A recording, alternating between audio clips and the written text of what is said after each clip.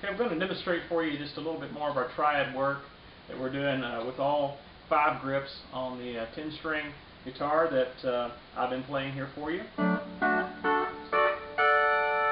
We really want to establish just kind of some um, uh, just basic grips, if you will, uh, because I think that's going to be very meaningful as you uh, maybe try to attempt uh, working with this tuning. Uh, so I just want to hammer home uh, the points uh, about where all the grips are because I think once you get that established and, really practice where that is, uh, it's really going to come to life for you, uh, being able to work beyond that.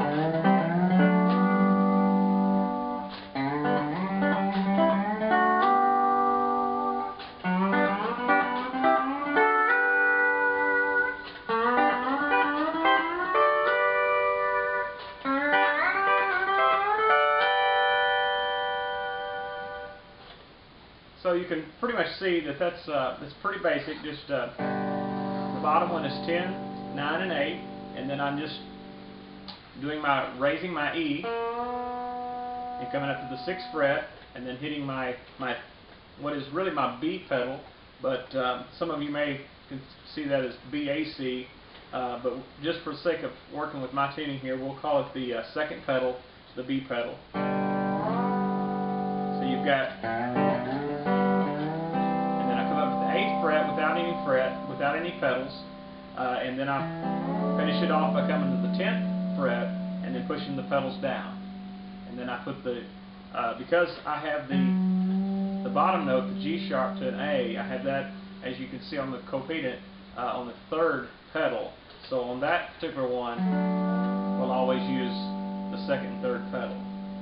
So what that looks like real slowly is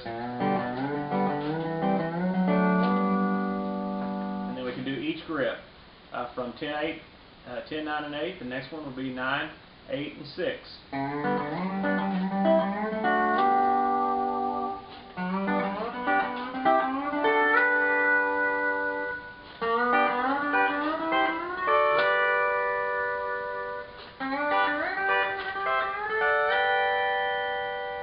And uh, as you practice this, you can do it in different keys. Let's say we'll go to the key of A, and then you're going to run up to the 10th fret, or the 8th fret rather, and do your raise your E and your B pedal, 10th fret, no pedals, and then right, finish it out at the 12th fret with the pedals down.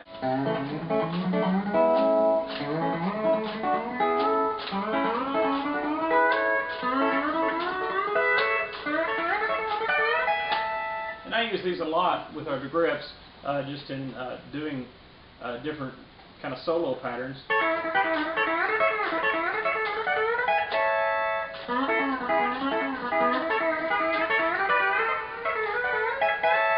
You